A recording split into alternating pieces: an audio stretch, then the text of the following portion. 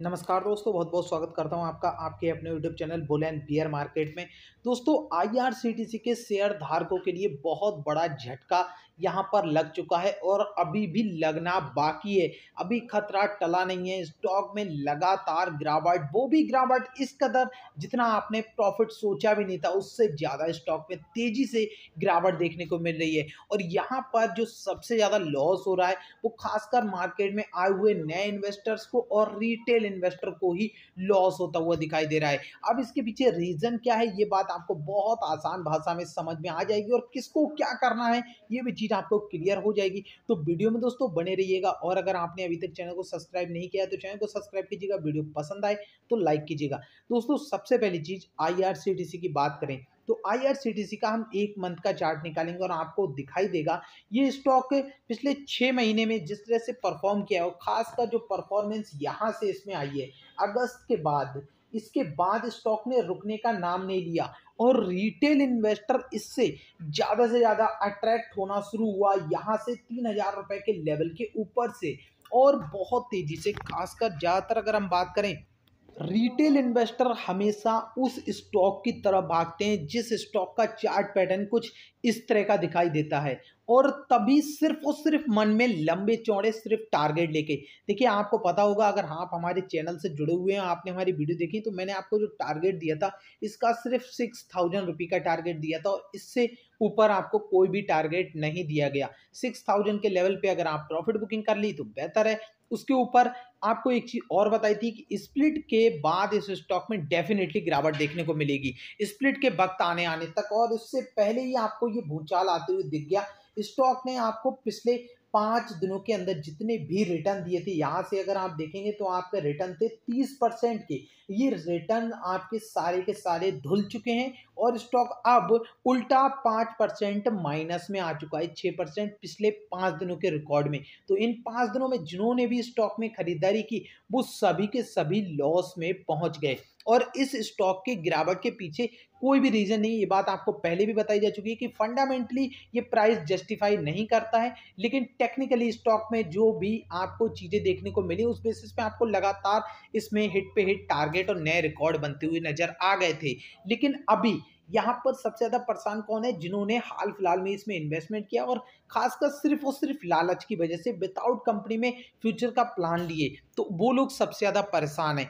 अब देखिए, यहाँ पर क्या करना है आपके लिए? आपको शांति के साथ या तो बैठे रहना है या फिर आपके लिए एक सपोर्ट लेवल कल के दिन भी बताया गया था कि वहाँ पर जाकर के आप अपना स्टॉप लॉस लेकर के चल सकते हैं। अब अगर देखें तो उसी स्टॉप लॉस के करीबी स्टॉक देखने को मिला है। लेकिन सबसे बेहतरीन मौका यही है इसमें कि आप अपना लॉस बुक करने के अलावा शांति के साथ बैठे विदाउट कुछ किए और उसके बाद आप इसमें जब ये स्टॉक थोड़ा सा कंसोलिडेट करेगा, तब आपको अपना एवरेज कर लेना है।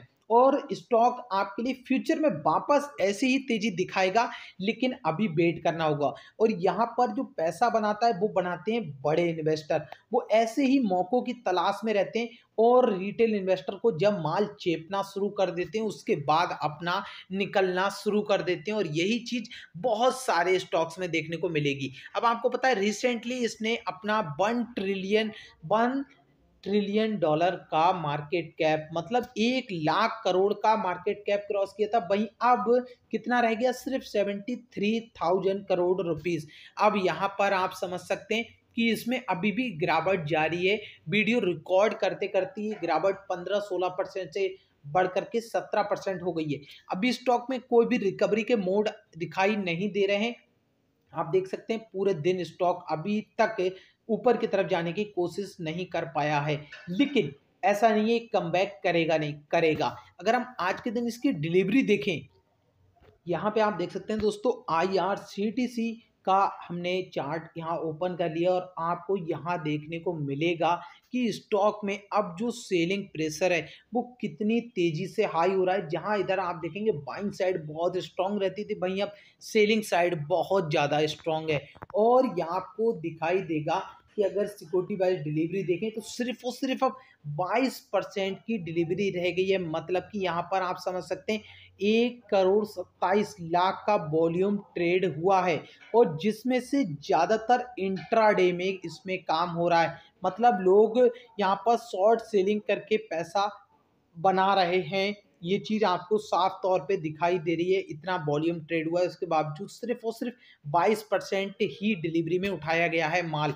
तो समझ सकते हैं कि स्टॉक में किस तरह से अब गिरावट हो रही है। अब एक बात और बता दूँ दोस्तों, ये स्टॉक मार्केट है, यहाँ बच्चों का गेम नहीं होता है कि आप आए और आपको सिर्फ़ पैसा ही पैसा यहाँ पर मिलने वाला अगर ऐसा होता तो हर कोई मार्केट में आज होता और हर कोई करोड़पति, अरबपति बन जाता। जब सौ में से नब्बे लोग गवाएँगे तभी सिर्फ़ दस लोग कमा के घर लेके जाएँगे। यही स्ट्रेटजी यहाँ पर काम करती है। अब आप किसमें से हैं? नब्बे में से या दस में से? वो आपके ऊपर डिपेंड करता है। क्योंकि आपका डिसीज़न आपका फैसला सही प्राइस रेंज पे स्टॉक में एंट्री लेना और किस प्लान से? अगर आप फ्यूचर के प्लान से इसमें एंट्री लिए हैं तो आपको फिर अभी अपना डिसीज़न चेंज नहीं करना चाहिए। और अगर आपने शॉर्ट टर्म में इसमें एंट्री ली थी शॉर्ट टर्म के लिए ली थी तो आपके लिए ज़ाहिर सी बात है लेवल्स पे काम करना चाहिए था और लेवल्स पे अपना प्रॉफिट बुक करना चाहिए था। जैसे कि अगर मैं अपनी ही बात करूँ पर्सनली तौर पे तो मैं अभी इसमें कोई डिसीज़न नहीं ले रहा हूँ। ना ही कोई स्टॉप लॉस ना ही कुछ। सिर्फ़ और सिर्फ़ एक और अच्छी डिप्स का इंतज़ार कंसोलिडेट होने के बाद और क्वांटिटी इंक्रीज करने का प्लान ना कि कोई भी माल बेचने का प्लान क्योंकि फ्यूचर का प्लान लेकर के चलना ही सबसे बेहतर होता है, जब तक आपका खुद का प्लान नहीं। अगर इंट्राडे करना है तो इंट्राडे अलग से कीजिए। इंट्राडे भी इस स्टॉक में काफ़ी मोटा पैसा बना के दिया है, इस स्टॉक ने इंट्राडे के अंदर अंदर। अगर आप देखेंगे, पिछले एक महीने का रिकॉर्ड तो बहुत माल बनाया है इस स्टॉक से। अगर यहाँ पर बात करें तो स्टॉक में स्प्लिट होने वाली है और अभी तक जहाँ सबका अनुमान था 1200 से 1400 के लेवल पे एंट्री होने वाली है। और आपको पता होगा, मैंने आपके लिए बहुत टाइम पहले क्या बताया था, स्टॉक में कि स्प्लिट होने के बाद स्टॉक 800 से हज़ार रुपए के बीच आपको देखने को मिल सकता है और अभी, अब ये वापस वहीं पर पहुँच रहा है। अब ऐसा नहीं है कि मैं बहुत बड़ा आपके लिए कोई ऐसी चीज़ बता रहा हूँ कि जैसे भविष्यवाणी, लेकिन जो लेवल्स आपको बताए थे, वो सारे के सारे लेवल्स फिट रहे इस स्टॉक में। अब आप देखेंगे इसका फिफ्टी टू वीक हाई तिरसठ सौ छियानवे रुपये का, और वहाँ से स्टॉक मात्र दो दिनों के अंदर पैंतालीस सौ पैंतीस पे आ गया। तो ये बड़े स्टॉक में कुछ गिरावट, क्योंकि सर्किट लिमिट बहुत लंबी 20 परसेंट तक स्टॉक अभी गिर सकता है। तो ये सारी चीज़ें आपको यहाँ पर ध्यान देनी होगी। लेकिन फ़िलहाल आईआरसीटीसी के अंदर इतनी पावर और इतना पोटेंशियल है कि ये स्टॉक फ्यूचर में आपको वापस बहुत बड़े और मल्टीवेगर रिटर्न देने की क्षमता रखता है। इसलिए गलत डिसीज़न नहीं लेना, बाकी आपकी अपनी मर्ज़ी है। आप किस तरह का डिसीज़न लेना चाहते हो, किस तरह का डिसीज़न ले रहे हैं वो आपका अपना फैसला है क्योंकि पैसा आपका है तो मर्ज़ी भी आपकी होगी। फ़िलहाल आई में कोई भी न्यूज़ नहीं है ऐसी, जिस वजह से स्टॉक में गिरावट हो, ना ही पहले कोई ऐसी न्यूज़ थी, जिस वजह से स्टॉक में बहुत बड़ी तेज़ी हो।